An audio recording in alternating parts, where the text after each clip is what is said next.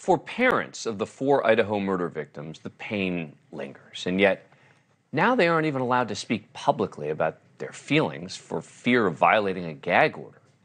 And yet there's a lot of news about issues that directly impacts them. For example, the student's house on King Road, News Nation getting a hold of a letter sent by university administration conveying this to the families of the victims. The letter from the acting general counsel for the University of Idaho reads in part I first want to express my condolences to each of you for the tragic loss you've suffered. It goes on to say I'm writing to communicate to each of you regarding the university's plans for the house at 1122 King Road. The homeowner gifted the house to the university with the intent by both parties that it be demolished. Before doing so, we will complete remediation within the house to address biohazards and chemical hazards that exist as a result of the crimes and ensuing investigation.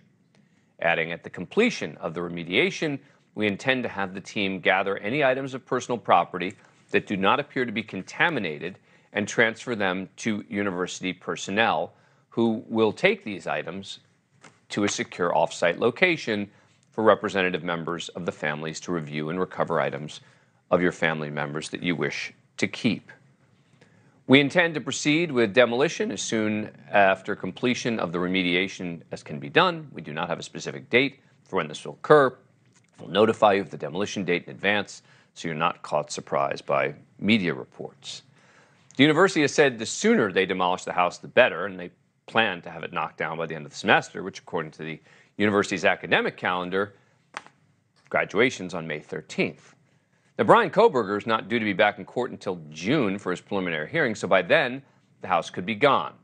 But there are questions over whether this speedy removal of the home, which is a crime scene, is a good idea.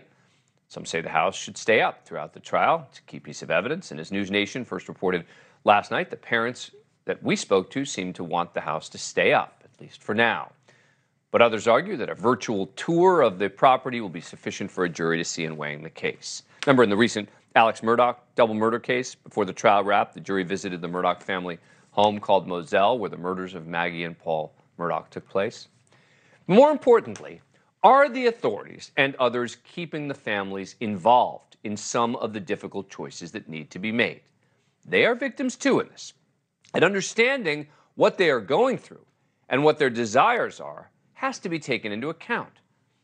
Joining me now is Brian Entin, News Nation senior national correspondent who has been covering this story from Idaho and been on the beat from the start. All right, Brian, thanks for joining us. Appreciate it. So, first, let me ask you broadly are the families satisfied with how involved they have or haven't been in some of the major decisions that have been made in the last month or so? It's a good question. I think it depends on what day you ask different different family members. I you know, I think there's been some frustration along the way that they haven't always been kept in the loop, but overall, I think lately they do feel like they are getting at least most of the information that they want. Uh, it, it, does appear you read that letter. I mean, the university sent them that letter before putting out publicly uh, the details of how they were going to demolish the house, so they were trying to let them know first. Uh, we know that they're in touch with the prosecutor uh, about different things going on behind the scenes. For example, when um, all those search warrants were released a couple of weeks ago, we know they let the families know what was coming out first. Hey, this is going to be made public, it's going to be in the news. So I think they're trying to keep them in the loop. Um, but obviously, you know, there are things going on with the investigation, especially with the gag order, uh, that, that they're just not telling anyone right now. What do you make of the university's comment about returning to them any personal property that isn't contaminated? What, what does that even mean? Does that mean that it was somehow destroyed? I mean, what are they talking about?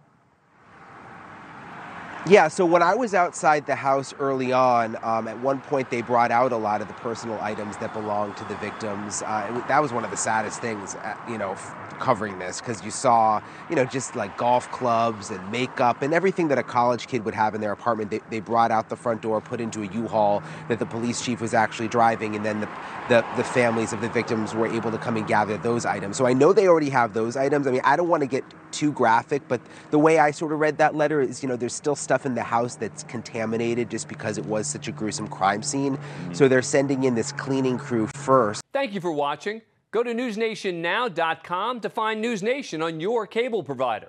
And don't forget to click the red subscribe button below to get more of News Nation's fact driven, unbiased coverage.